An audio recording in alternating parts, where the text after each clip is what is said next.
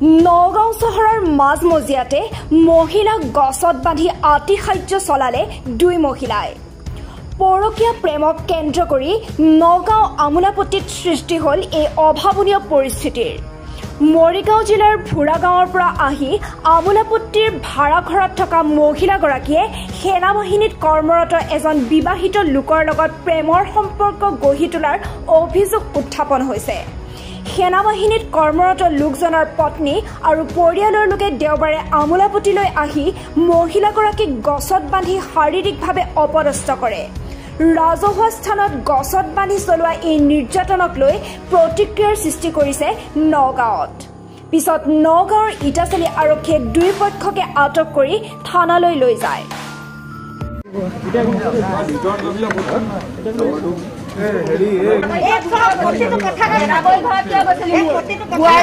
গেৰাবৰী ঘৰ গছকি আহিছে।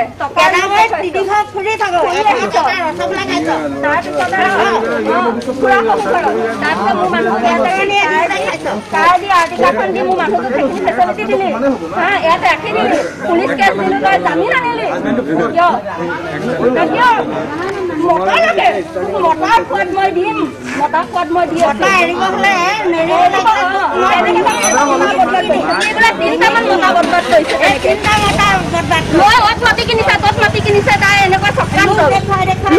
দেখুৱাই মোৰ মানুহটো এতিয়া পেঞ্চন আহিব যে পঁয়ত্ৰিশ লাখ টকা পাব বুলি তাই মানে সেইটো গম পাইছে গম পাই এই ছমাহ আছে যে মানুহটো পেঞ্চনলৈ তাই মানুহটোক আবদ্ধত কৰি দিছে।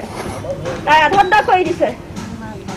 মোৰ মানুহটো এতিয়া নিজৰ গাড়ী নচলাই তোৰ আৰ্টিকা আহি চলাই ফুৰিছেহি তোৰ আৰ্টিকা তই ইমানেই লোভ দিছ মানুহটো বোৱাৰী ভাত খাইছিলো। মই কোৰ্ট মেচ কৰি মই বিয়া হৈছো।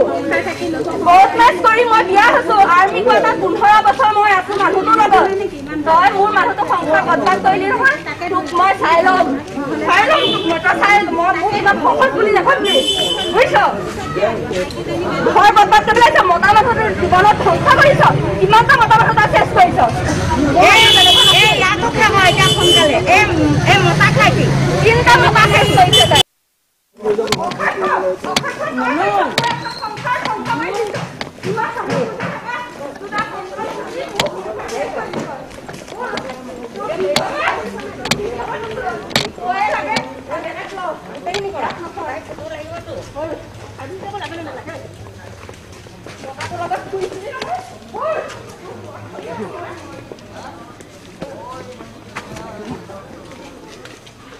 কিয় এৰি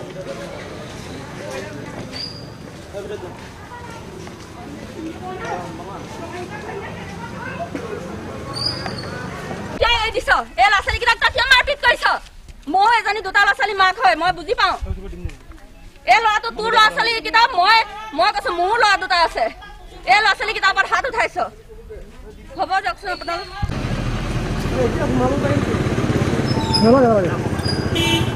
আজি খবৰ এটা আহিছিলে ৰাতিপুৱা। যে এটা মহিলাগৰাকীক আহ, গছত বান্ধি দিয়া বুলি আমাৰ খবৰ আহিছিলে। আহ, আমি পাৰ্টি পঠাইছোঁ। আমি পাৰ্টি পঠাই দেখা পাওঁ যে মহিলাগৰাকী মানে আৰু বেলেগ দুজনী মহিলাই মানে গছত বান্ধি ৰাখিছিলে।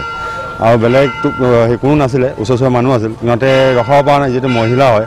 তো আমাৰ পুলিচৰ আমি টিম গ'ল তাতে গৈ কিনে মহিলা আৰু মানে তিনিটা মহিলা ট'টেল সেইকেইটা এতিয়া আহ, ইয়াতে ইটাচি থানাত অনা হৈছে। আৰু তাৰ চাওঁ ইনফৰ্মেশ্যনটো গেডাৰ কৰি আছোঁ যে এইটো কিয় কাৰণে হ'ল। সেইটো ইনফৰ্মেশ্যন গেডাৰ কৰি আছোঁ এতিয়া। অঁ এইটো মাৰপিট কৰাটো আমাৰ তাত গম পোৱা নাই। আমি ফুটেজৰ কাৰণে এতিয়া চাই আছোঁ। যদি ফুটেজ পাওঁ তেতিয়াহ'লে সিহঁতৰ কেছ এতিয়া ৰেজিষ্টাৰ কৰি সিহঁতৰ ওপৰত একশ্যন লোৱা হ'ব। তেনেকুৱা? বুলি এনেকুৱা হৈছে। আগতে কমপ্লেইন এটা দিছিলে। যোনে বান্ধি ৰাখিছিলে এনেকুৱা কমপ্লেইন এটা দিছিল। এতিয়া চাওঁ এইটো হয়নে নহয় এই কমপ্লেইন এইটো অমলাপতিত। নাই তেনেকুৱা নোৱাৰে। এইটো এইটো বেআইনী আৰু সিহঁতে আইনটো নিজৰ হাতত লোৱাটো এটা নিজে এটা আনলফুল তো আমি এই মহিলাগৰাকীৰ ওপৰত এটা একশ্যন এটা হ'ব আৰু এফ আই আৰ এটা ৰেজিষ্টাৰ কৰা হ'ব।